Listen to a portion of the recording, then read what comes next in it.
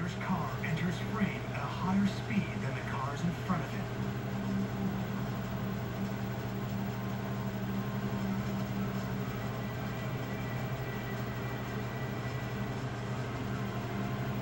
Now, what happens is the Prius slows and brakes for whatever reason.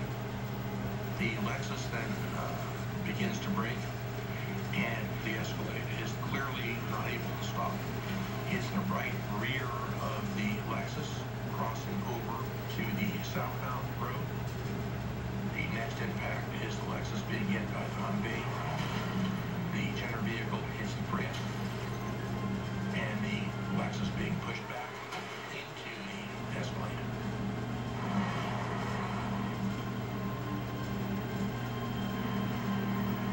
Caitlyn Jenner